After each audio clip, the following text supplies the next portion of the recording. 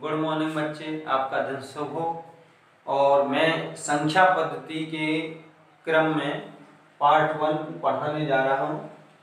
और थोड़ा सा मैंने संख्या पद्धति पहले भी बता चुका हूँ, लेकिन आज मैं विस्तार से एक्सप्लेन करने जा रहा हूँ। तो न, संख्या पद्धति है क्या?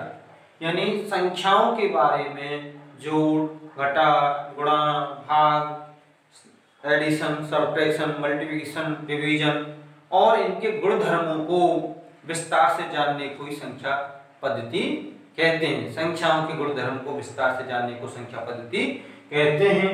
Number system. अब संख्या संख्या से पहले आया अंक।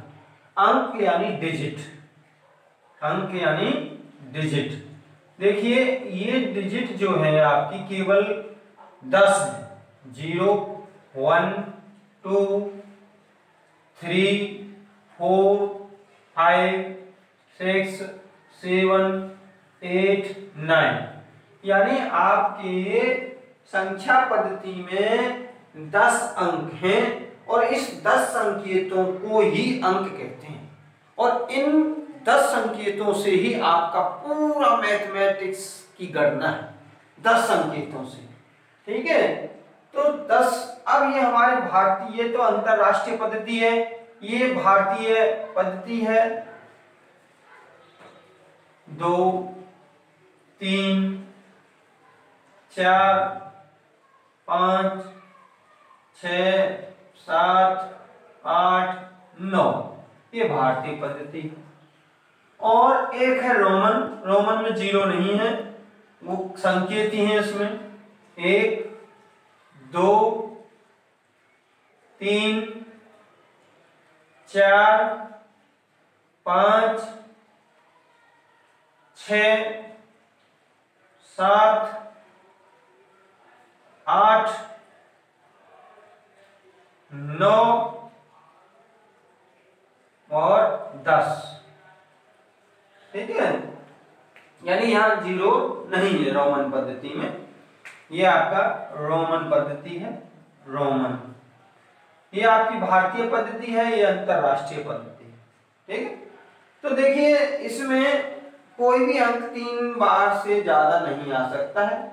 और जैसे ये आपका पाँच है, पाँच की बाएँ तरफ़ संख्या रखेंगे और छोटी संख्या रखेंगे तो घटेगा। और पाँच की दाई तरफ़ कोई संख्या रखेंगे यानी ये संकेत रखेंगे तो वो जुड़ेगा। तो पाँच और छ पाँच और दो सात, पाँच और तीन, आठ, ये दस दस में से गए नौ। ये रोमन पद्धति है।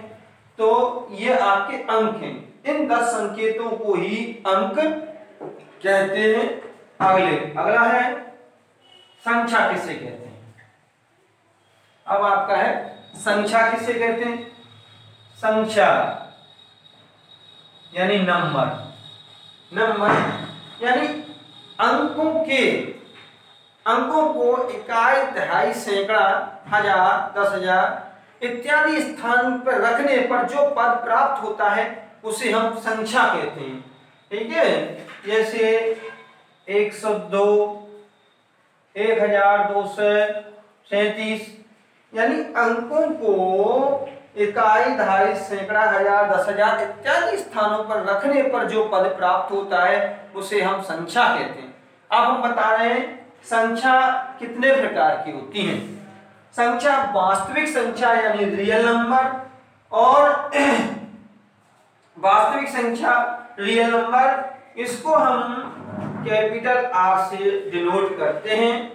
इसमें और दूसरी तरह की संख्याएँ काल्पनिक नंबर या अवास्तविक नंबर इमेजनरी नंबर काल्पनिक नंबर तो वास्तविक संख्या में आपकी परमे संख्या, ये वास्तविक संख्या में आपकी परमे संख्या, अपरमे संख्या, प्राकृतिक संख्या, पूर्ण संख्या और पूर्णांक आएँगे। ठीक है? तो ये पूर्णांक भी इसी संख्या में आपके आएँगे। तो देखिए, यानी वास्तविक संख्या, यानी परमे संख्या, भिन्न संख्या, दशमलव की संख्या, ऋण की संख्या, परमे संख्या, अपरमे संख्या, ये सब वास्तविक संख्या में आती हैं।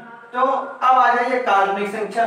काल्पनिक संख्या जिसको हम कापी पे दर्शा नहीं सकते हैं उसकी कल्पना कर सकते हैं, उन्हें हम काल्पनिक संख्या कहते हैं। या सीधी सी भाषा में ये कहें कि जो वर्गमूल में हो स्क्वायर रूट में हो, या क्यूब रूट में हो, और साथ में नेगेटिव भी हो, उन्हें हम क्या कहते हैं? काल्पनिक संख्याएँ कहते हैं। अब आ जाइए वास्तविक संख्याएँ।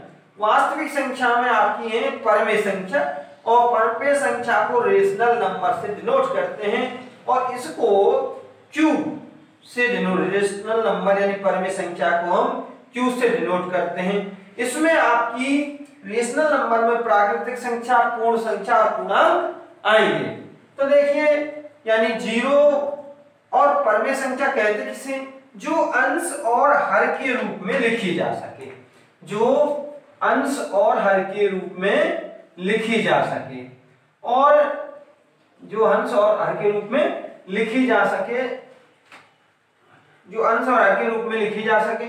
और जो हर है, वो ज़ीरो के बराबर कभी नहीं हो सकता। है numerator denominator denominator is not equal to zero zero के बराबर कभी नहीं हो सकता है। ठीक है? तो यानी तीन बटे पाँच लड़का सात बटे पाँच और दशमलव दो, तीन दो, ठीक है? तो ये भी आपके परमे संख्या है। ये यानी सभी प्राकृतिक संख्या भी परमे संख्या है, शून्य भी परमे संख्या है। आप आप सोच रहे होंगे इसके नीचे तो कुछ हर नहीं है। अरे, इसके नीचे कर दो, क्योंकि ज़ीरो में एक से भाग देंगे तो ये आपकी पांचवी परमे संख्या है। क्यों है? इसके नीचे एक रख दो। ये आपका दशमलव तीन सात एक ये भी आपकी परमे संख्या है, क्योंकि इसके नीचे एक रख दो। ठीक है? तो यानी प्राकृतिक संख्या नेचुरल नंबर होल नंबर यानी पूर्णांक, और इंटीजर यानी इंटीजर यानी पूर्णांक होल नंबर यानी पूर्ण संख्या, ये सभी संख्या आपकी परमे संख्या है। तो परमे ये सब बताने से पहले अपरमे संख्या है। जो, जिनको, जो परमे संख्या नहीं है अपरमे संख्या। या हम ये कह सकते हैं, जिन संख्याओं का वर्गमूल या घनमूल पूरा पूरा नहीं निकलता है, वो आपकी अपरमे संख्याएँ कहलाती हैं। और इसमें आपका पाई है, इसका मान पूरा पूरा नहीं निकल, निकला है आज तक। एप्साइलन है ठीक है? अपर में संख्या, यानी उनको पूरा पूरा मान नहीं निकला है आज तक। अपर में संख्या, अब आ जाइए प्राकृतिक। अपर में संख्या और परमे संख्या को और विस्तार से मैं अगले पार्ट में बताऊँगा, जिसमें आपकी दशमलव संख्याओं में बताऊँगा। शांत, अशांत, ये आपको शांत, अशांत अशांत अपर आवृत्ति, अनावृत्ति वाली चैप्टर में बताऊँगा। अब जो प्राकृतिक संख्या को कहते हैं नेचुरल नंबर नेचुरल नंबर को कैपिटल एन से डिनोट करते हैं। नेचुरल नंबर को कैपिटल एन से डिनोट करते हैं। तो देखिए, यहाँ एक से शुरू होकर अनंत तक चलने वाली सभी संख्याएँ प्राकृतिक संख्या। एक से लेकर अनंत तक चलने वाली सभी संख्या प्राकृतिक संख्या है। या ये कहिए गणना में काम आने वाली सभी संख्या प्राकृतिक संख्याएँ या ये कहिए सभी धनात्मक संख्याएँ प्राकृतिक संख्याएँ कई बार बच्चे उनसे पूछते हैं, सर, दस दस प्राकृतिक संख्या नहीं है? दस प्राकृतिक संख्या है, बीस भी प्राकृतिक संख्या है। सर, बच्चे कहते हैं, सर, इसमें ज़ीरो आ रहा है। शुरुआत में ज़ीरो नहीं आएगा। शुरुआत में ज़ीरो नहीं आएगा। अब आ जाइए पूर्ण पूर्ण संख्या यानी होल नंबर होल नंबर का पहला अक्षर डब्लू है, इसलिए इसे हम डब्लू से डिनोट करते हैं। तो यानी पूर्ण संख्या में सिर्फ़ प्राकृतिक संख्या ही पूर्ण संख्या है, लेकिन इसमें एक ज़ीरो और सम्मिलित कर लिया जाता है। जो हम प्राकृतिक पूर्ण संख्याओं को हम एक से लेकर, यानी प्राकृतिक संख्याओं को हम एक से लेकर बोलते हैं। यानी प्राकृतिक संख्याओं के समूह में यदि ज़ीरो भी सम्मिलित कर लिया जाए, ये आपका प्राकृतिक संख्या है। और इसके समूह में ज़ीरो भी जोड़ लिया जाए तो ये आपका होल नंबर बन जाएगा।